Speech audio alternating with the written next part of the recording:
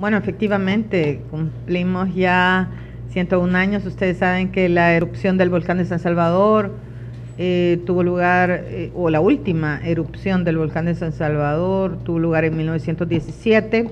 Ese es un volcán activo, es un volcán que puede hacer erupción, que su periodo de retorno o de activación es de aproximadamente entre 100 y 120 años y para lo cual nosotros como capitalinos debemos estar preparados. Yo recuerdo, les recuerdo a todos que hay un informe, el informe nacional del estado de los riesgos y vulnerabilidades, en donde aparece allí toda la información posible, sobre todo las zonas en donde eh, podría haber afectación, ya sea por caída de cenizas o flujos piroclásticos, que es lo que tuvimos en el volcán de fuego recientemente en Guatemala, o por salida de lava, o por cualquiera de los escenarios que puedan darse luego de una erupción de un volcán.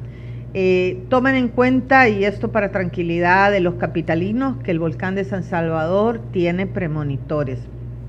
Es decir, vamos a empezar a sentir eh, sismos recurrentes, si tiene algunos indicadores que nos van a ir alertando. Recuerden también que el Ministerio de Medio Ambiente cuenta con instrumentación en los seis volcanes activos, esto es, tenemos estaciones de monitoreo y monitoreamos permanentemente la actividad de estos volcanes. Si vemos alguna anomalía, informamos inmediatamente no solo al sistema de protección civil, sino a toda la población salvadoreña.